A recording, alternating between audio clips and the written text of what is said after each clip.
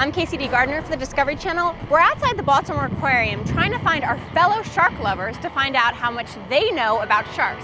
I don't know. My husband would know more than me. So today on Versus, we're testing the public's knowledge on shark eating habits versus human eating habits. Eating habits, you said? Mm-hmm. I've seen uh, what, what you know what sharks can do on the Discovery Channel, so you know it seems pretty crazy. Here we go.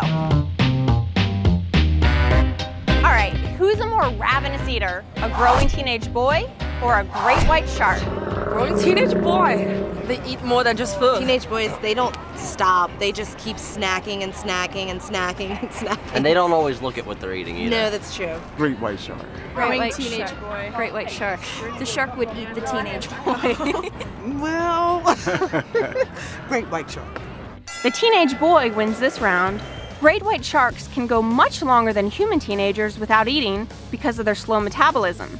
If a great white shark eats a large elephant seal, it's possible it may not eat again for an entire month. That would never happen with a teenage boy. That being said, both a great white shark and a teenage boy are probably always looking for a good meal. And who's a bigger garbage disposal? A bull shark who will basically eat anything in the sea, or a baby who will basically eat anything on land? Well, I know babies will stick anything in their mouths, but they don't necessarily swallow it.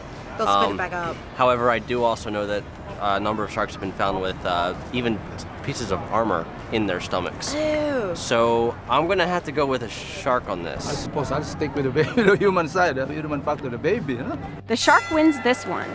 These sharks are actually known as the wastebaskets of the sea because they actually have been found with trash, like license plates, inside their stomach. But both sharks and babies do sample for taste, and if they don't like something, they'll just spit it out. Who's a pickier eater? A filter feeding whale shark or a yuppie at a really fancy restaurant?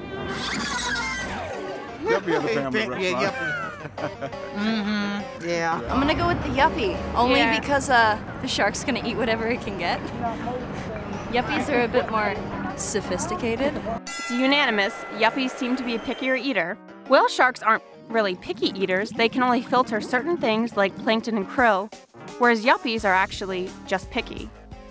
Thanks for watching Versus. So, how was your knowledge on shark eating habits? Well, if it's not up to par, visit www.discovery.com backslash Shark Week to get more information.